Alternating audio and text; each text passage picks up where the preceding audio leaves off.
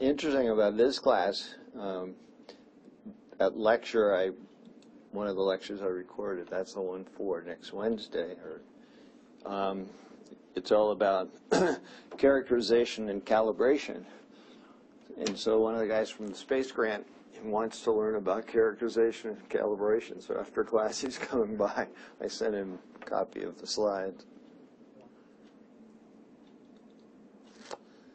Okay, well, So are the project proposals due today? pardon me? So are the project proposals due today? They're due today, but if you get them in over the weekend, I'm happy. Okay. Or uh, if you're going to email them, yeah, you- then you should email them today. But it's just two pages, so. Oh, two not- pages. Not, not really. Oh, just two, okay. I've gotten two in already, and one's Earth and one's space, so that's pretty typical. Okay, let's see what's going on. So for the projects, what level of detail are you looking for? The online examples had very, very different levels there. Um, it, it's kind of up to you. Um, since we are, since this is a class in instrumentation, Mhm. you know, if you put more detail into the instrument itself, that's probably appropriate. Okay. Um, I don't expect a lot of detail about the spacecraft or any of that stuff. But it, it's how your measurements would, you know, fulfill what you think your sensor should be doing. How original should it be? Pardon me? How original should the instrument be? Well, you know, people have been asking me that. Um, at this day and age, a lot of the things have been done, but if you can come up with an original idea, that's fine. If you want to come up with a different way to make a measurement that's been made for a long time, that's fine. Um, if you just want to basically refresh how that measurement has been made, uh, you know, I can't really argue with that because, you know, it's, it's becoming harder to get really unique ideas because a lot of things have been done, but there's still a lot of interesting things out there. Okay. Yeah, But it's up to you. This should be a class where you can be as creative as you can afford to be. You know, you, you, the only limitation is how much you want to study the problem. And, and, uh, so you're gonna, you're gonna do a lot of your own research, learning about that particular problem. You'll go well beyond any of the lectures or anything, trying to define what, what their, what the important aspects are. Well, I guess we should go ahead. I don't think we're gonna see, I don't know, it's all guys today. The girls left us. Okay, finishing up that, that last lecture, um, we were talking about um, the various aspects of building things, and we're going to talk about this. This is the, a particular instrument. This is the VIIRS, the Visible Infrared Radiation Suite. It's really just one instrument. It Has a rotating telescope. That's kind of a unique aspect. Hasn't been done before, and you can see these dichroics that I've talked about splitting off the various wavelengths. So these little languages, this is long wave infrared, short wave infrared, mid wave infrared. So that's what the MIR SWIR LIR is all about. Visible near infrared. Okay, and so those are, that's one channel because it's all, all visible and non-visible but still optical. and these are these are thermal channels.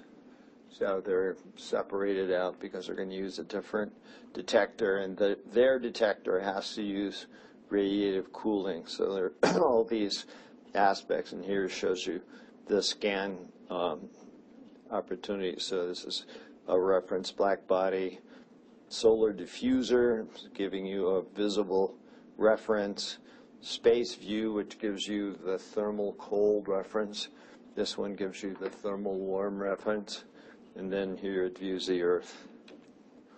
These are the pieces of this instrument, so you can see, you know, how basically large they are. This is the rotating telescope, scan motor that keeps this thing rotating. This is the black body. Um, this is a radiator panel for cooling the black body. So you like to do that um, passively. If you do it actively, you'll have to put on things like nitrogen dewars, which run out of nitrogen. When they run out of nitrogen, they don't cool anymore. So passive instrument, passive cooling is very attractive. Um, this is the cryoradiator door, and this is really this is interesting because it's a, a frequently a point of failure. This is put on there during the launch, and then it has to open up when it gets up there. And frequently, the device set up to open the door, move away the shade, fails, and then you have a problem. You can't go up and fix it. So these are all important components. Now, the way these complex instruments are built, they create what are called integrated product teams, IPTs. So you have teams for each aspect. So there's an IPT that sort of has the overall uh, view. So the next uh, lecture we're going to talk about systems engineering. And system engineering is kind of, you know, when you think about it, when you think about the class in it, it's kind of boring because it doesn't really teach you anything specifically. The problem with system engineering, you have to consider everything. So you end up with this environment where everything affects everything.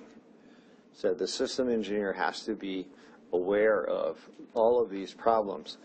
And his job, his or her job, is to overview what's going on and try to catch the interactions that can be problems.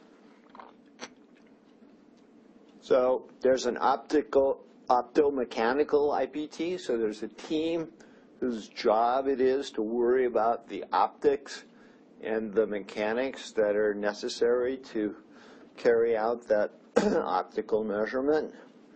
So these, this team needs to look at the trades. Trades are basic, are the nature of doing this kind of work.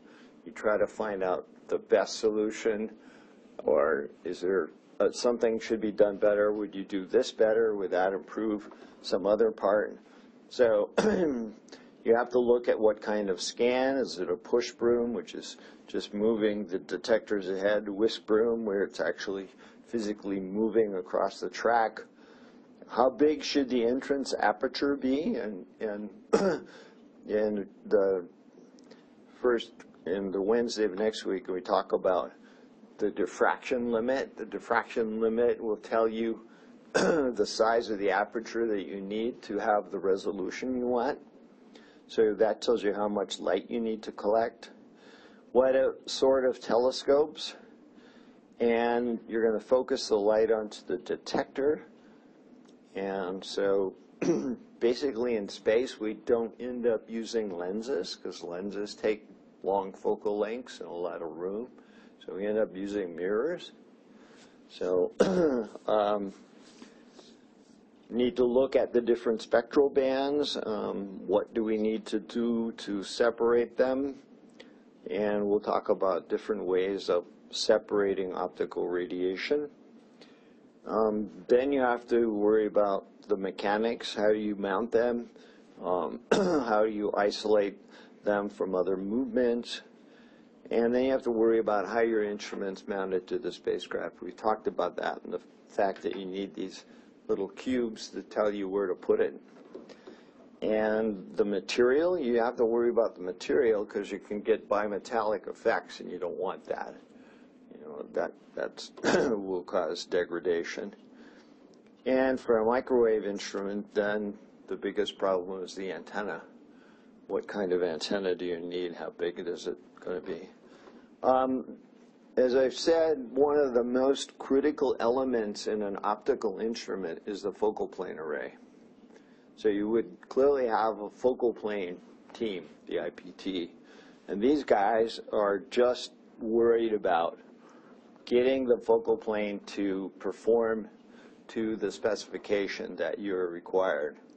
So this is where the detectors reside. And we're going to have a number of lectures about detectors and how they work, and we're going to talk about um, we're going to talk about CMOS and CCDs arrays and how they function, and which one's better or worse, or what the different aspects are. So uh, this is a really important area for any kind of an optical instrument.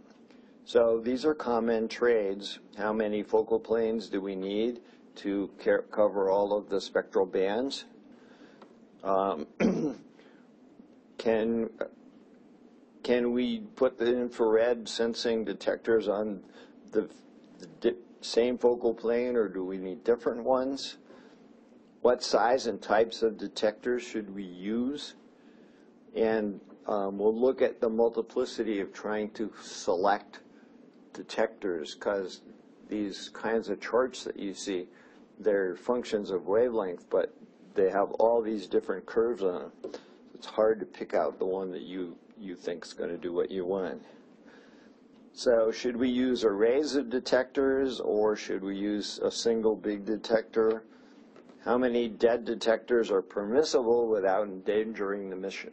So if you have a focal plane array, if you start losing elements of the focal plane, how many can you lose and still collect a useful image? Do we have redundant sets of detectors? In other words, if one goes out, can we have another one take its place? Kind of like how sharks have teeth. how do we collect the signal from the detectors into a readout? So this is moving the data from the detector, which is sensing the photons, turn it into an electric signal that we can then process. And how long do we integrate the measurements? So how long can we collect the radiation? Then there's an electronics team, and these guys build the data system. They're the ones that you're going to deliver an electronic signal to them, and they are going to develop the systems that process the data, store the data, and you, you end up with some fundamental basic kinds of questions. So um, what are the data that we need to be able to handle? Um, what kind of an A to D analog to digital conversion are we using? Um, so how precisely do we need to know the signal? That's going to be a question of how many bits. And you know, now nowadays we we have data's not such a problem as it used to be, and so we have a lot more bits than we used to have. And do you really need data compression? Can you keep all of the bits, or do you have to somehow compress it and lose some of those bits? And if you do lose them, does it make any difference? So can we can we toss some of the data in a lossy compression, or must we have it with completely lossless compression so that we could recover the full signal? How much power can we take from the spacecraft? Okay, the spacecraft has a certain amount of power that it can provide. And, and this is true of UAVs, for example. You're going to fly on a UAV, you need to have an instrument that doesn't demand too much power from the plane because it can't provide that much power.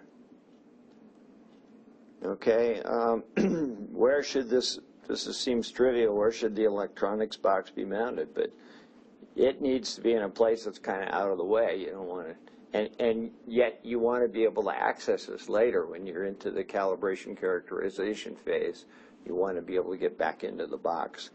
And then there's a big, big thing that is often overlooked. What sort of cables are used for connecting all of these components, and where do you put them? And um, I think I told you, I, I used to have this attitude that they wouldn't go into safe hold mode And so they collected some really nice data, one of their satellites burning out.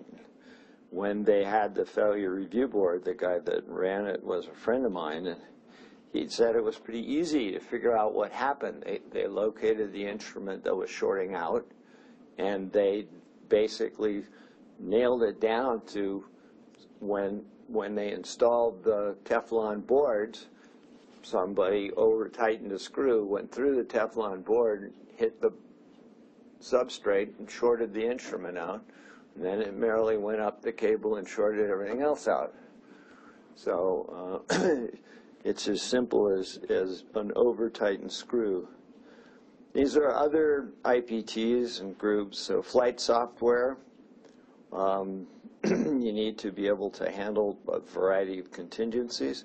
Thermal control, you've got to have thermal control of not only the spacecraft but of the instruments because the satellite's going to have to do a lot of that as well. The instrument's going to have its own thermal control, but the satellite may be providing a lot of the, uh, the thermal uh, compensation. Then you have to have registration and navigation, so you have to be able to locate the data on the ground. Otherwise, it's not very useful. So if you're looking at the ground, you really would like to know where, where this stuff is located. Calibration. Now, this is going to be a big deal, and we're going to talk about it, like I said, next Wednesday. Um, calibration is really the, the, the transformation from the bits we get out of the instrument into a measured quantity. Okay?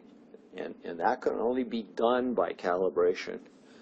And you have to realize that, you know, you, you're going to do this calibration before the instrument is launched. Okay? After it's launched, you can't redo that calibration. Now, we do a lot of things we call vicarious calibration. And by this vicarious calibration, what we do is we, we look at basically uniform targets that we think we understand the reflectance of or the radiation of. Like um, Phil Slater loved this the thing called railroad playa down in New Mexico. Or you can look at white sand. So you look at things that you think are essentially uniform, and then you look at what the satellite has measured of that target, and you try to verify that it has the calibration that you did before launch. Is it still valid? So, uh, how frequently should we revisit our, our reference points and check out the black body? So, um, the instrument's going to degrade over time. It's just all instruments do. When they degrade up in space, well, you hope it's not the RMS errors that are getting bigger. You hope it's a bias that you can actually correct for.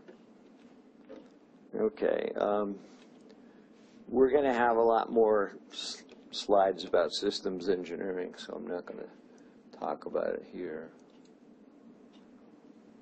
Okay. Um, any questions? Why are the girls not here? yeah. Oh, I'm good. what? Never mind. No? Do you have a question? No. No? Okay. All right, so this next lecture is about systems engineering. So, fundamental law of systems engineering everything interacts with everything. Everything goes somewhere. You have to put everything into there, and there's no such thing as a free lunch. So, it's not easy. That's what that last one's saying. It's, it's not a simple problem. What is systems engineering? It's an interdisciplinary means to realize complex capabilities. Sounds like a lot of gobbledygook. Um, the science community has been really good at bantering around this word interdisciplinary. But here it really means something because this person has to be aware of all those other things we just talked about. Okay? And this person has to look at it at sort of a 40,000 foot level. They can't afford to get down in the weeds. They need to look at how these things are functioning but at a much higher level. So they need to be able to think about design, manufacture, integrate, te- all of those things that are happening at the same time. They need to think about them.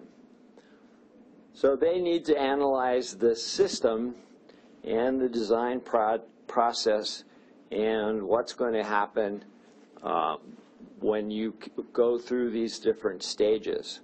So concept, design, develop, build, operate, and terminate. His, history of systems engineering. It's kind of recent, really. Bell Laboratories started this in the 1900s, um, looking to come up with a systemized way of developing products. And the RAND Corporation, who was very famous in the 40s and 50s, are doing a lot of this kind of stuff. They, they carried on systems analysis. First teaching of these concepts were at MIT in the 1950s. So, systems engineering type terminology, design. Design is concepts to requirements allocation. Okay? So that's kind of what you do in this class. We won't be able to, we don't have any money to build anything. So you're basically going to be doing this first part of it. You're going to be de- designing uh, an instrument. Development is where you convert those requirements into something. You actually build it. And I think, as I've told you and uh, told you in the recorded lectures, the first thing that the companies build is a thing called an engineering model. So they, they build this engineering model, which is destined to stay on the ground. Why would it stay on the ground? Yeah, Something breaks up in space, you can try to replicate it on the ground. exactly. Yeah. You, you remember the Apollo 13 mo- movie? It was a good example because they had a copy of the module that was broken and they were poking and working on it to try to tell people what to do up there. So if they had not had a copy of it, they weren't, wouldn't be able to explore what, what needs to be done. So that's the main reason. Um, it's been interesting over the history of, of remote sensing that a lot of the engineering models have, when the uh, flight hardware has failed, have been fixed up and launched, put into space. So engineering models have made it, engineering versions have in, made it into space. You need to worry about integration, the various components, and then there's the test and analysis, and that's the stuff I recorded for, for Wednesday. This is the basic diagram of systems engineering. So you have this V diagram, and if you look at it, then here you go where you're understanding the requirements, you develop the system specifications, you go into higher order specs where you get the more detailed sort of numbers, then you get into the design to build, and then you actually build stuff, and then you start verifying it, and you start testing it, and so this goes from the concept into the final demonstration on the ground. So that's what this is. So this is the decomposition and design phase, and this is the integration and qualification phase. so this is how you do um, this. These are all considered inputs. So you have a plan, and criteria, interpret the user needs, develop the concepts, decompose the concepts into the different bits, and then you start developing what you're going to build, analyze, assess, you then actually end up building and testing.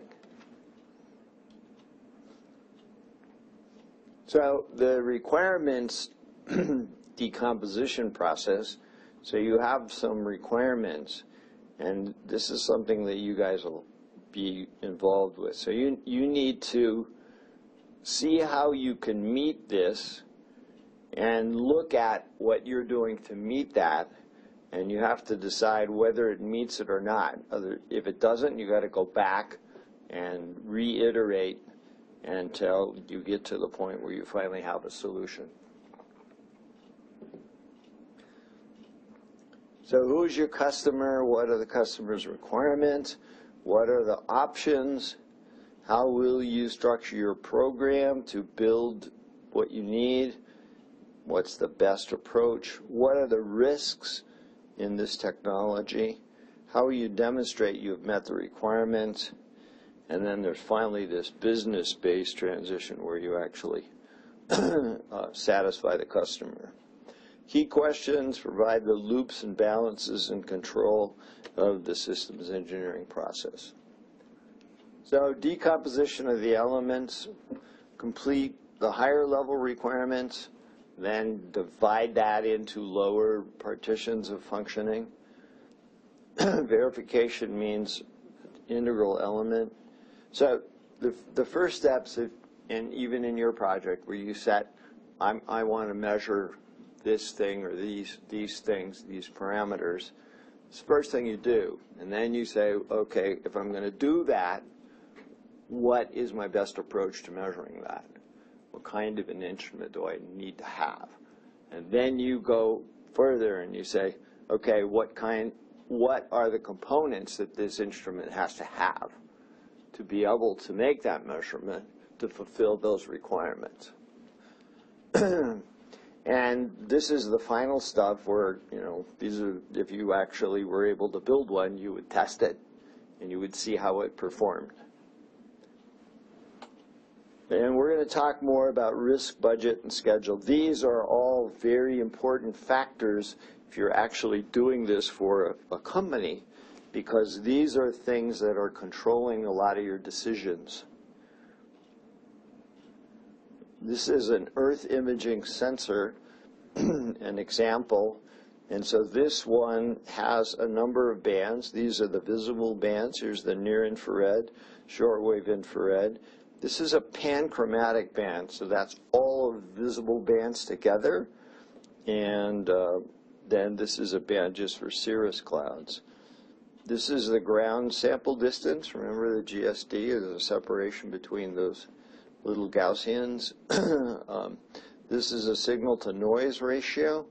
Now notice all of these bands can't you can use the signal to noise ratio. It, actually, in the shortwave infrared, you could also use the delta T, the measure of noise equivalent uh, change in temperature.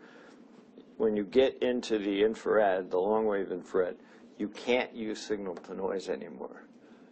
Okay, you have to use this noise equivalent change in temperature.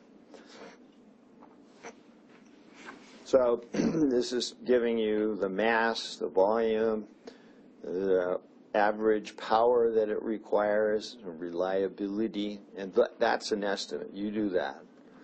Okay, operational lifetime, calibration sources. So those are all components. So these are some specifications for this example. Um, has a 177 kilometer field of view, which is pretty large. Uh, that's that's its sample space. 30 meter resolution, uh, has to have the right orbit, has to survive the space environment.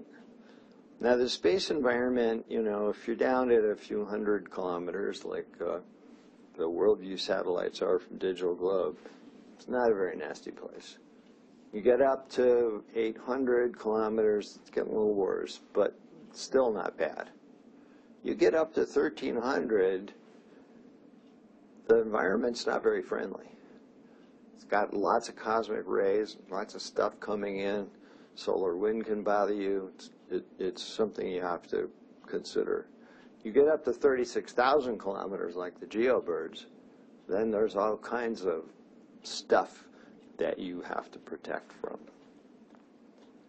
Um, emerging requirements, you, you may want to reduce your sensor requirements to actually achieve what you're going to get.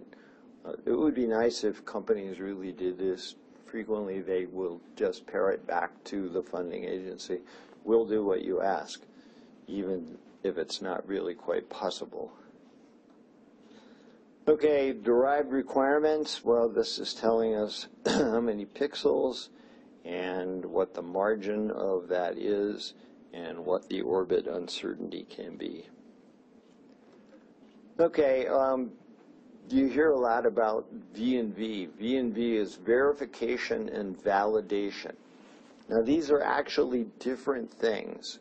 Verification just says, okay, I said that this instrument would make this measurement. Okay? And can I repeat it? It's kind of like repeatability. Can I, can I make this re- measurement on a regular basis? That's verification. Validation says, how accurate is that measurement? I want that measurement to be this accurate. So validation actually would compare with some ground truth source and say, yeah, I can make it uh, that that accurate. So um, there are a lot of these things that are pass-fail, um, and then some are measured values. Like validation is really a measured value. Can you exceed that value? And uh, verification can basically be pass-fail.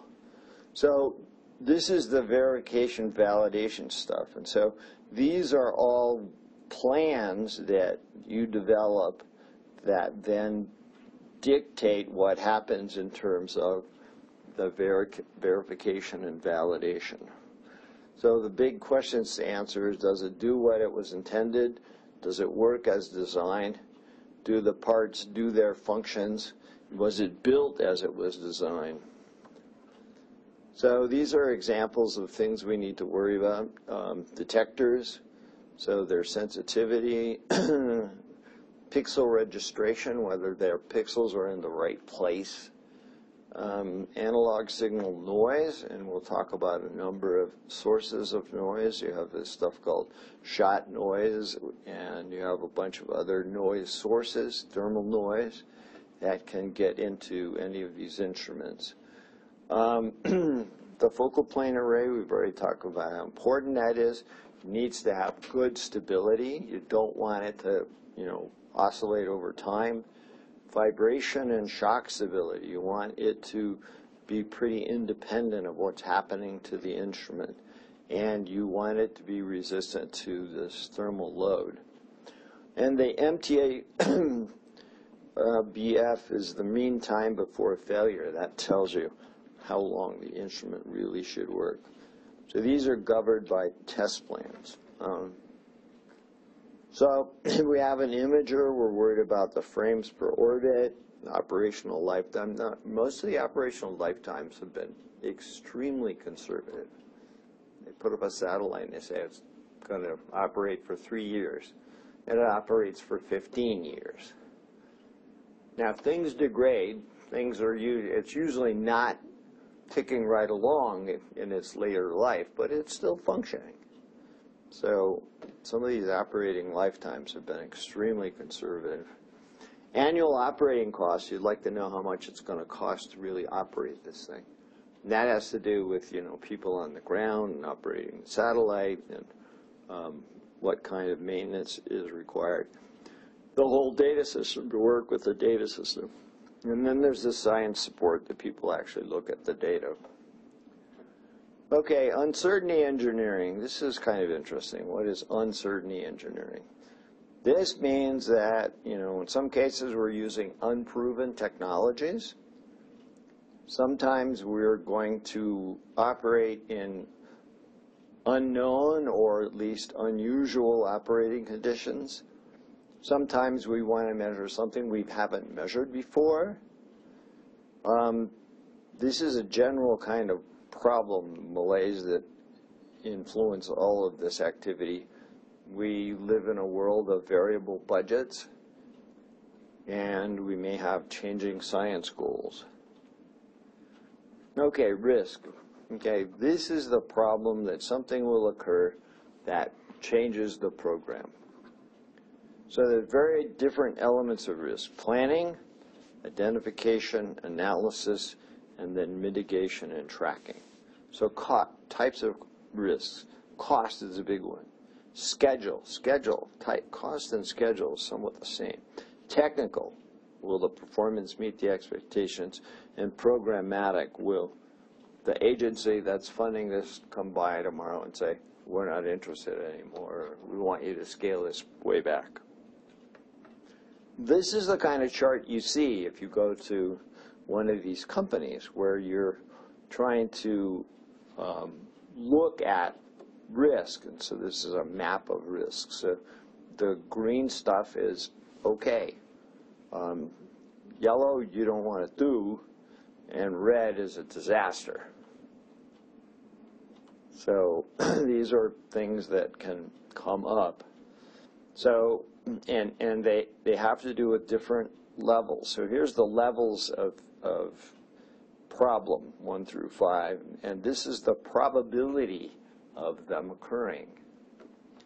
So, uh, you know, one says things are okay, five says you can't, you just can't function with that.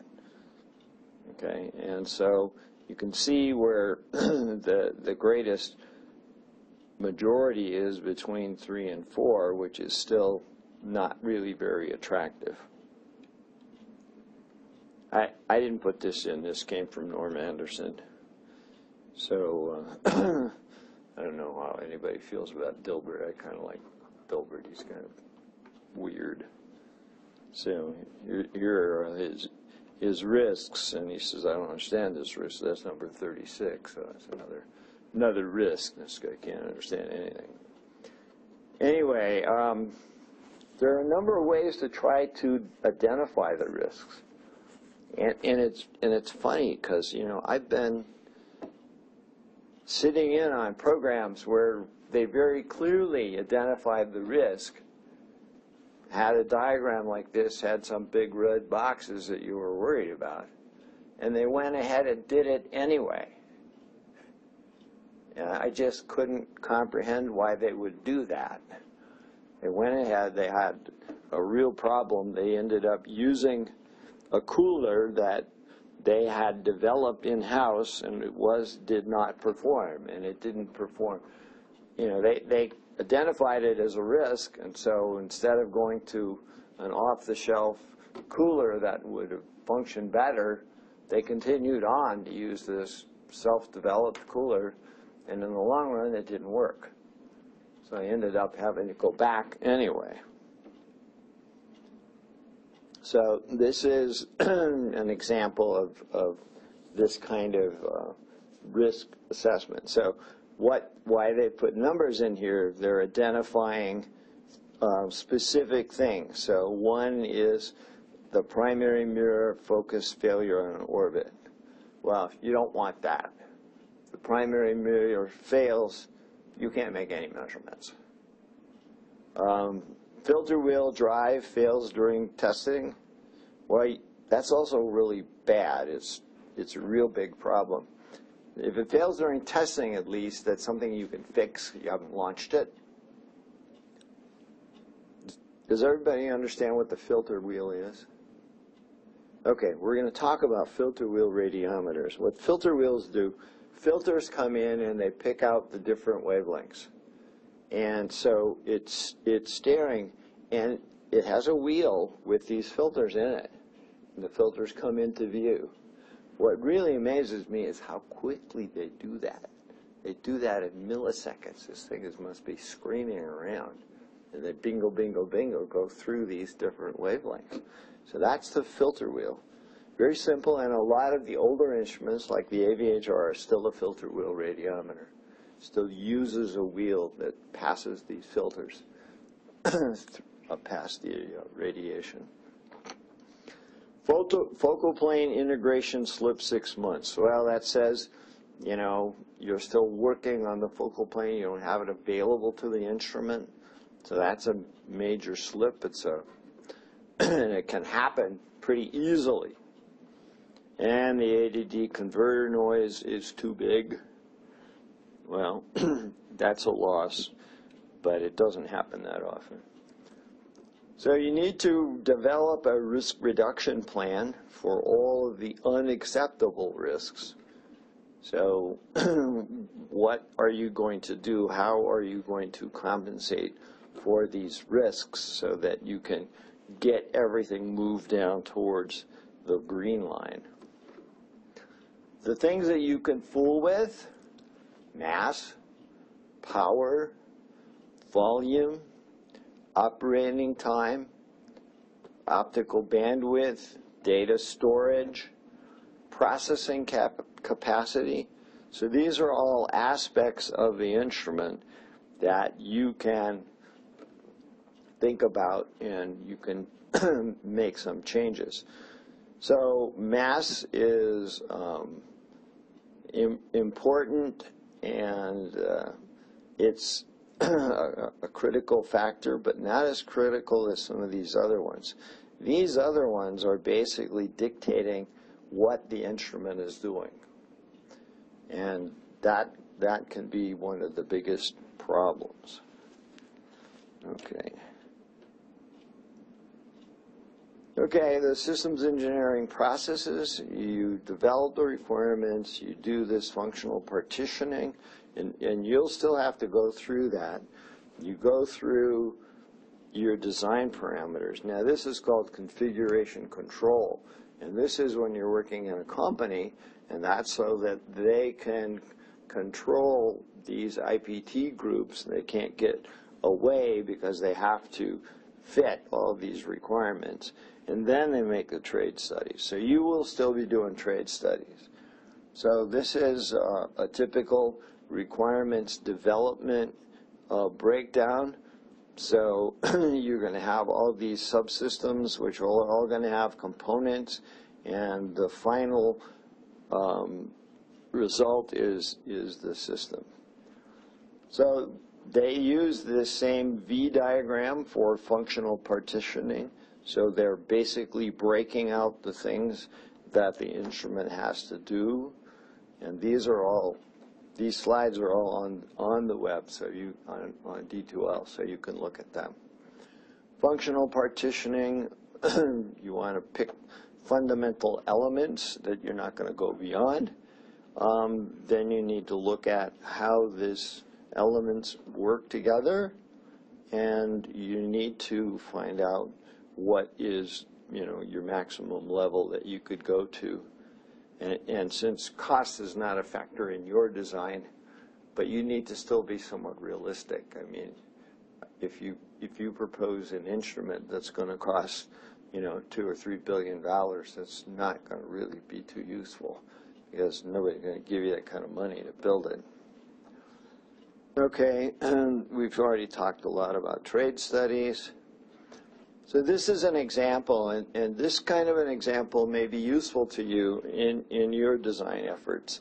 So you need to talk, think about your focal plane, how it's going to capture the photons, how you're going to digitize the photons, how you're going to go into a processor, how is the data going to get in there, what do you need in terms of thermal control, power conditioning, what kind of con- power can you utilize, and then how are you going to get the data to the ground.